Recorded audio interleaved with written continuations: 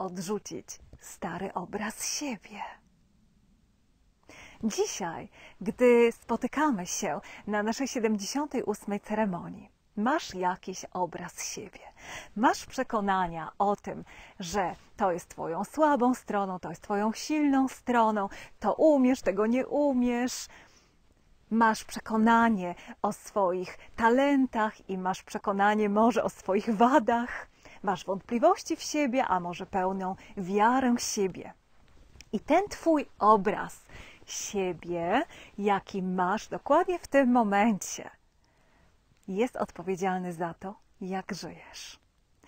Czyli jeżeli masz wątpliwości w siebie, nie kochasz siebie, nie ufasz sobie, masz poczucie, że masz za mało siły, za mało mocy, czy masz takie wrażenie bycia ofiarą życia lub różnych sytuacji lub różnych ludzi, to w rzeczywistości to wszystko pojawia się w Twoim królestwie. Dlatego, jeżeli chcesz coś zmienić, jeżeli chcesz, by Twoje życie było piękniejsze, bardziej obfite, bardziej bogate, bardziej spełnione, bardziej radosne, to pierwszym krokiem jest zmienić obraz siebie. Gdy zmienisz ten obraz siebie na inny, to automatycznie zmienia się wszystko, co przyciągasz do Twojego życia. I to jest właśnie przesłaniem naszej dzisiejszej 78. ceremonii.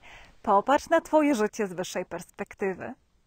Popatrz, jaki masz obraz siebie, co myślisz o sobie, co tak naprawdę i szczerze myślisz o sobie. Jak działasz każdego dnia? Czy spełniasz oczekiwania innych? Czy robisz coś, na co zupełnie nie masz ochoty, ale ze strachu, że inni cię odrzucą, że inni cię będą oceniać? Jaki masz obraz siebie? Odpowiedz sobie na to pytanie i ono jest kluczem do tego, by ten obraz zmienić.